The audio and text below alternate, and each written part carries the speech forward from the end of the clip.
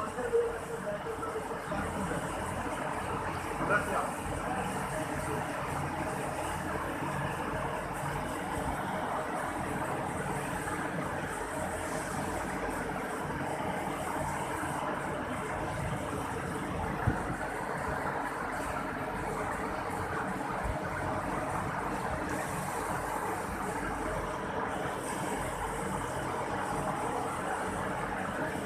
Yes, he is the interview accept the.